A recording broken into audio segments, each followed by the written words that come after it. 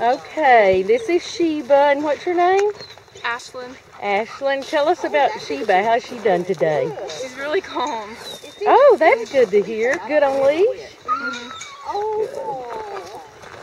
Oh, and look how lovable.